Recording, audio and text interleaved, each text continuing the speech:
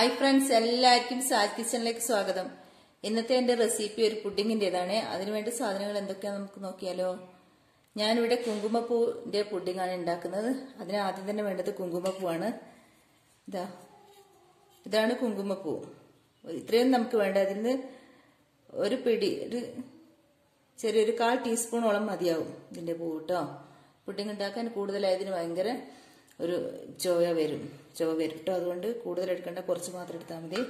പിന്നെ ഒരു പാക്കറ്റ് പാലെടുത്തിട്ടുണ്ട്. പിന്നെ മിൽക്ക് മെയ്ഡ് അതും അര ടിന്ന് മതി. ഫുള്ളൊന്നും വേണ്ട. പിന്നെ പഞ്ചസാര പിന്നെ നിങ്ങളുടെ ഇഷ്ടത്തിനനുസരിച്ച് കൂട്ടവും കുറയ്ക്കുകയൊക്കെ ചെയ്യാം. പിന്നെ വേണ്ടത് നമുക്ക് കോൺഫ്ലോർ ആണ്. ഇതിന് ഞാൻ ജെലാറ്റിനും ചൈന ഗ്രാസ് ഒന്നും ഉപയോഗിക്കുന്നില്ല. കോൺഫ്ലോർ ആണ്. അത് ഏത് ബ്രാൻഡ് നിങ്ങൾക്ക് എടുക്കാം കേട്ടോ? അപ്പം നമുക്ക് ഇത് ഉണ്ടാക്കി തുടങ്ങിയാലോ? ഞാനിപ്പോൾ അത് കോൺഫ്ലോർ പാക്കറ്റ് പൊടിച്ചെടുത്തിട്ടുണ്ട്. ഞാൻ ഇതിൽ നിന്ന് ഒരു മൂന്ന് ടേബിൾ സ്പൂൺ എടുത്തിട്ട് നമുക്ക് ഒരു കപ്പിലേക്ക് കലക്കിയെടുക്കണം.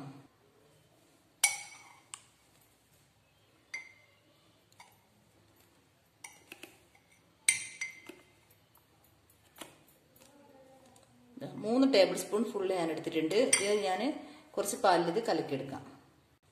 ഇത് നമ്മൾ പുഡിംഗ് ഉണ്ടാക്കാനായിട്ട് ഒരു നോൺ സ്റ്റിക്കിന്റെ ഒരു സോസ് പാനാണ് എടുത്തത്. അതിലേക്ക് ഈ ഒരു പാക്കറ്റ് പാൽ ഒഴിച്ചു കൊടുക്കുകയാണ് മുഴുവനായിട്ടും ഒഴിക്കുന്നുണ്ട്. ഇത് പുഡിംഗ് അല്ല അതുകൊണ്ട് നമ്മളിതിൽ വെള്ളമൊന്നും ചേർക്കുന്നില്ല പാൽ മാത്രം.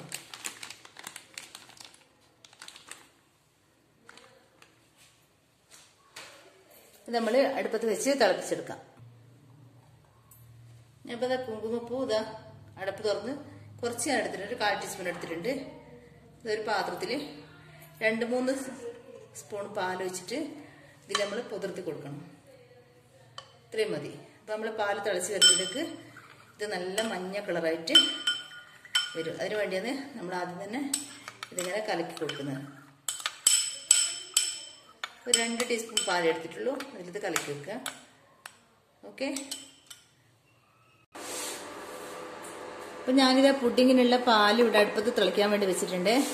ഇത് തിളച്ച് വരുമ്പോൾ നമുക്ക് ഇതിലേക്ക് തിളയ്ക്കേണ്ട ഒന്ന് ചൂടായി വന്നാൽ മതി. അപ്പം നമുക്ക് എന്ത് ചെയ്യാം? ആ കോൺഫ്ലോർ കലക്കിയത് ഇതിലേക്ക് ഒഴിച്ചു കൊടുക്കണം.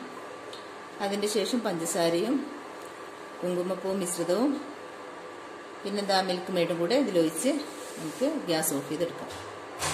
അപ്പോൾ പാൽ തിളയ്ക്കുന്നത് വരെ നമുക്കൊന്ന് വെയിറ്റ് ചെയ്യാം. അപ്പോൾ നമ്മളെ പാലിവിടെ ചൂടായി വരുന്നുണ്ട്. നമുക്കതിലേക്ക് ഈ കോൺഫ്ലോർ കലക്കിയത് ഒഴിച്ചു കൊടുക്കാം. മൂന്ന് ടേബിൾ സ്പൂൺ കോൺഫ്ലോർ ആണ് ഞാൻ എടുത്തത് മൂന്ന് ടേബിൾ സ്പൂൺ മാത്രം. നന്നായി കലക്കി കൊടുക്കണം. കട്ടയില്ലാതെ ഇങ്ങനെ ഇളക്കിക്കൊണ്ടിരിക്കണം.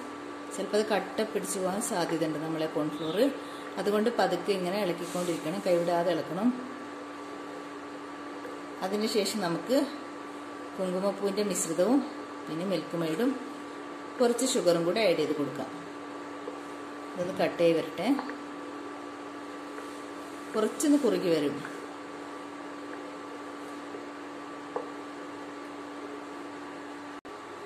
നമ്മളെ കോൺഫ്ലോർ ഇപ്പൊ കുറുകി വരുന്നുണ്ട്. നമുക്ക് അതിലേക്ക് ഈ കുങ്കുമപ്പൂവിന്റെ മിശ്രിതം ഒഴിച്ചു കൊടുക്കാം. കുങ്കുമപ്പൂവും പാലും കൂടെ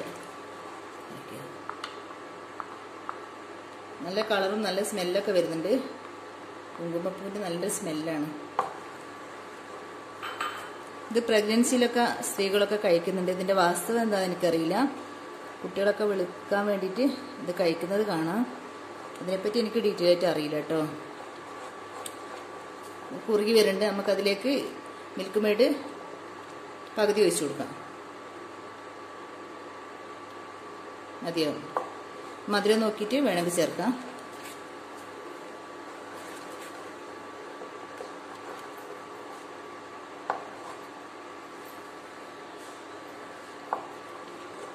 കുറച്ച് പഞ്ചസാരയോട് ചേർത്ത് കൊടുക്കാം. പുഡിങ്ങൊക്കെ ആകുമ്പോൾ നല്ല മധുരം വേണ്ടേ? അതുകൊണ്ട് കുറച്ചും കൂടെ പഞ്ചസാര ചേർത്ത് കൊടുത്തിട്ടുണ്ട് ഞാൻ ഇത് അറബികളുടെ ഒരു പ്രിയപ്പെട്ട ഫുഡാണ് ഈ കുങ്കുമപ്പൂവിന്റെ പുഡിങ് ഇവിടെ ഭയങ്കര എക്സ്പെൻസീവ് ആയതുകൊണ്ട് ആരും ഉണ്ടാക്കാറില്ല. അങ്ങനെ കുങ്കുമപ്പൂ നല്ല പൈസയല്ലേ? നല്ല ഹെൽത്തിയുമാണ് നല്ല ടേസ്റ്റിയുമാണ് കേട്ടോ അത്.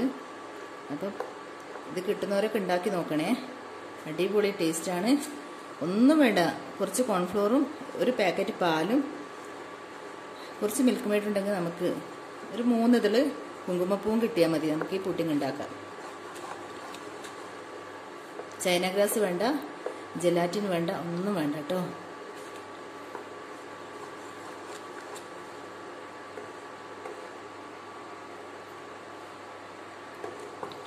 മധുരമൊക്കെ കറക്റ്റാണ് അപ്പോൾ നമ്മളെ പുഡിങ് കൂടെ റെഡി ആയിട്ട് ഞാൻ അത് ഒരു പ്ലേറ്റിലേക്ക് സെർവ് ചെയ്യട്ടെ. എന്നിട്ട് കാണിച്ചു തരാം.